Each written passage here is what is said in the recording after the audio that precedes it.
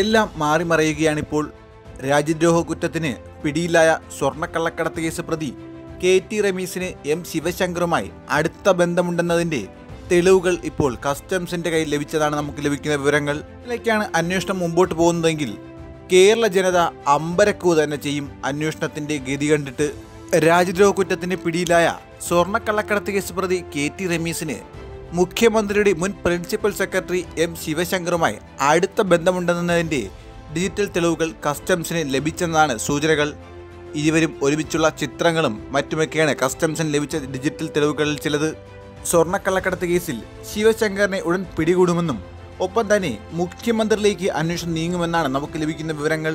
അതായത് ആവശ്യമെങ്കിൽ മുഖ്യമന്ത്രിയെ ചോദ്യം ചെയ്യുന്നതിന് ഉൾപ്പെടെയുള്ള നീക്കങ്ങളിലേക്ക് കേന്ദ്ര അന്വേഷണ ഏജൻസികൾ കടക്കുന്നു എന്നാണ് നമുക്ക് ലഭിക്കുന്ന ഇപ്പോഴത്തെ ഏറ്റവും പുതിയ വിവരങ്ങൾ.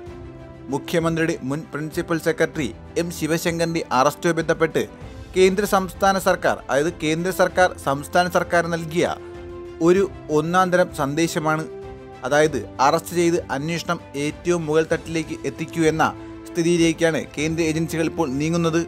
സംസ്ഥാന സർക്കാർ ശിവശങ്കറിന്റെ അറസ്റ്റിന് വിട്ടു നൽകില്ല എന്ന നിലപാടിലാണ്. അതായത് ശിവശങ്കറിനെ അറസ്റ്റ് ചെയ്യാൻ ഒരിക്കലും വിട്ടു നൽകില്ല എന്നതാണ് നിലപാടിലാണ് സംസ്ഥാന സർക്കാർ. എന്നാൽ അതാണ് കേന്ദ്രത്തെ സംശയത്തിലാക്കുന്നത്. ശിവശങ്കറിന്റെ അറസ്റ്റിന് അതായത് ശിവശങ്കറിനെ അറസ്റ്റിന് വിട്ടുകൊടുത്തില്ലെങ്കിൽ അതിനർത്ഥം അദ്ദേഹം ഇടപെട്ട അഴിമതിക്ക് സംസ്ഥാന സർക്കാരുമായി ബന്ധമുണ്ടെന്നാണല്ലോ എന്നാണ് കേന്ദ്ര വൃത്തങ്ങളുമൊക്കെ സംശയിക്കുന്നത് ഇപ്പോൾ. അതായത് ജൂലൈ അഞ്ചിന് സ്വർണക്കള്ളക്കടത്ത് പിടിച്ച ശേഷം ശിവശങ്കർ പ്രതി സന്ദീപ് നായരുമായി ബന്ധപ്പെട്ടിട്ടുണ്ട്.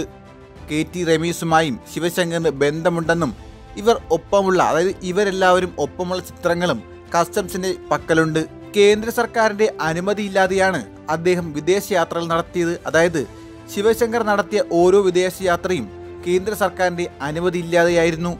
എന്നാൽ ഈ ശിവശങ്കറിന്റെ വിദേശയാത്രകളുടെ ചെലവ് വഹിച്ചത് സംസ്ഥാന സർക്കാരായിരുന്നു.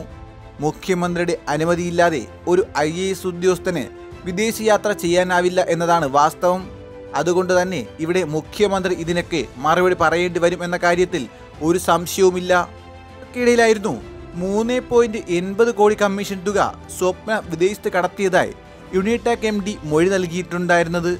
എന്നാൽ ഇതുവരെ കേട്ടതൊക്കെ ഒന്ന് പോയിന്റ് തൊണ്ണൂറ് കോടിയുടെ കഥ മാത്രമായിരുന്നു എന്നതാണ് വാസ്തവം. അതായത് ശിവശങ്കറിനൊപ്പമുള്ള വിദേശയാത്രയിൽ സ്വപ്ന ഡോളർ കടത്തിയിട്ടുണ്ടെന്ന മൊഴിയിലാണ് പുതിയ കേസിലേക്ക് കസ്റ്റംസിനെ നയിച്ചത്. അതായത് ഈ യാത്രകൾ ആരുടെയെങ്കിലും അനുവാദമുണ്ടോ എന്നും ഉണ്ടെങ്കിൽ അവയുടെ രേഖകൾ ഹാജരാക്കണമെന്നും കസ്റ്റംസ് ആവശ്യപ്പെട്ടിരുന്നു. എന്നാൽ ഇതിന് മുഖ്യമന്ത്രിയുടെ അനുമതിയാണ് ഉണ്ടായിരുന്നത്. ഈ ഘട്ടം മുതലാണ് കേസിന്റെ ഗതി മാറി മറയുന്നത്. യാത്രകൾക്ക് സർക്കാരിൽ നിന്നും അനുമതിയുണ്ടെങ്കിൽ അത് നൽകിയവരുടെ മൊഴിയെടുക്കാമെന്ന സ്ഥിതിയും അന്വേഷണ സംഘത്തിനുണ്ട്. അതാണ് മുഖ്യമന്ത്രിയിലേക്ക് നീങ്ങുന്നെന്ന് നാം പറയുന്നത്. ന്യൂസ് ഡെസ്ക് തത്തുമൈ ന്യൂസ്.